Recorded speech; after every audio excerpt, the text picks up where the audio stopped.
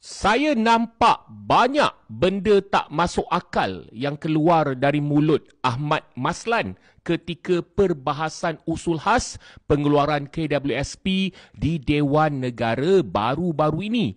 Antara kata Ahmad Maslan yang buat saya geleng kepala, saya nak baca sikit petikan laporan media. KWSP adalah simpanan hari tua, bukan simpanan hari muda. Ia simpanan untuk masa depan. Kalau kita nak selesaikan masalah ketika ini, kita perlu ada option yang ketiga dan bukan hanya perlu berhutang. Kalau tak mahu berhutang, jangan pergi ahlong. Tetapi kita boleh berniaga kerana ada 40 bilion pinjaman mudah yang kita berikan dalam belanjawan 2023. Carilah segala perkara itu, RM40 bilion itu untuk membantu rakyat yang kesusahan dan bukan hanya menunggu mengeluarkan untuk kali kelima. Saya nak tanya Ahmad Maslan lah. Sebagai timbalan Menteri Kewangan 2, saya nak tanya YB. YB dapat mana jumlah 40 bilion pinjaman mudah itu? Cuba YB bagi pecahan.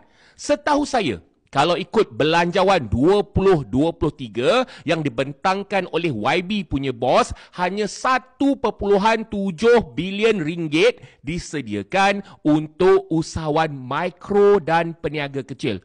Kalau YB tak percaya, YB tolong cek perenggan 44 teks belanjawan. Lepas tu saya nak tanya, semudah mana nak dapat pinjaman tu YB? Semudah mana?